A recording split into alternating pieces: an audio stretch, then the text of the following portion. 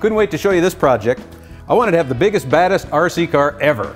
So when you're hanging with your buddies, you're out at the dunes, you're at the track, you're on the trail, they got their little RC cars. I got this monster. Weighs 105 pounds.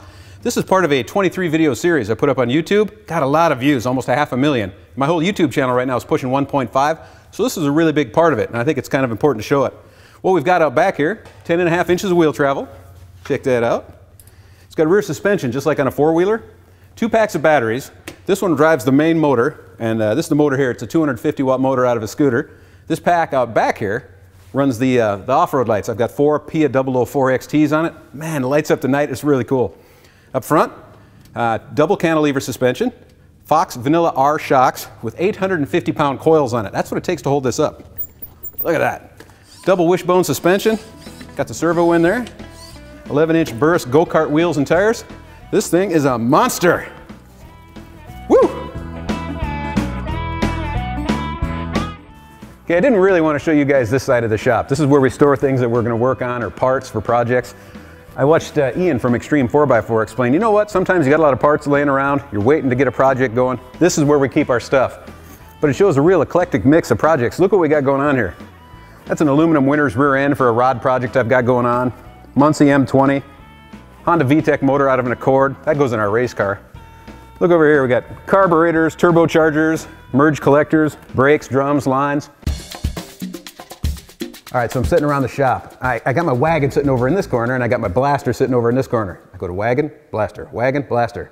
Pretty soon I decide I gotta build the biggest wagon you've ever seen. So if you look at this monster, what I did is I put the, uh, the blaster suspension on it, actually two sets of blaster suspension arms on it. It's got 25 inch tires, it's got a 32 inch lift, four-wheel independent suspension, four-wheel steering. You can haul around four or five people at the fair all afternoon showing off, but I gotta tell you, that thing weighs like an empty car. You're gonna break your back pulling it around, but it's so fun, it's worth every bit of it. Ah, my grave robber project. I was actually really close to getting this thing going until I started drilling over Rockwell military axles. So I started looking for a military 6x6 to take axles off of. So I picked up the truck, it's sitting in our shop, weighs 15,000 pounds. I'm not exactly sure how to get the axles off of it. You know, once they're off, what am I gonna do, pull it out of here on a rope? So I don't exactly know how to dispose of it. But uh, that will be the next project, and I'm really hoping maybe we can scrounge up like a 6.7 liter Ford diesel for that thing. So that'd be pretty cool. This is actually my favorite welder right here, the Miller Dynasty 350, water-cooled TIG torch, my go-to machine. I use it all the time here in the fab table. I love this one because it's the Pulse MIG, the 350P. Been excellent for us. Bead roller, Bailey 20 inch disc grinder, love it. Uh, the other two Miller welders, we got these set up for various applications. Uh, the 135 here, I use 24 wire in this thing all the time. We leave it set up with 75-25 argon CO2. Uh, we use this a lot for like body work, sheet metal, uh, small exhaust work. My favorite go-to machine. This is the 175. We tend to leave 30 wire in this one, and we do slightly bigger things with it, flanges, brackets, bigger stuff. Love them both. Over on this side of the shop, we keep a lot of the bigger project stuff. Sandblast cabinet, planishing hammer, English wheel right here. Got the Eagle roll bender. I love this tool. It's been a lot of fun.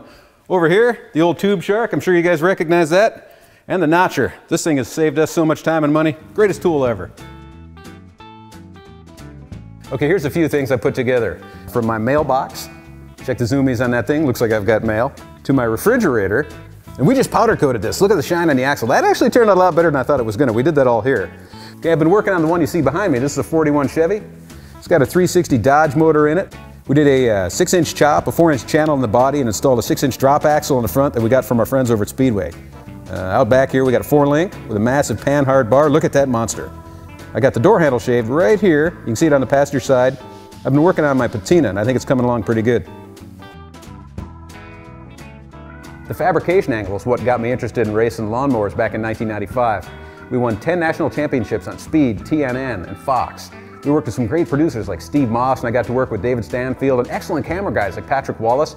I learned so much from those guys, and I developed a huge respect for what you guys have to do every day, and I appreciate it.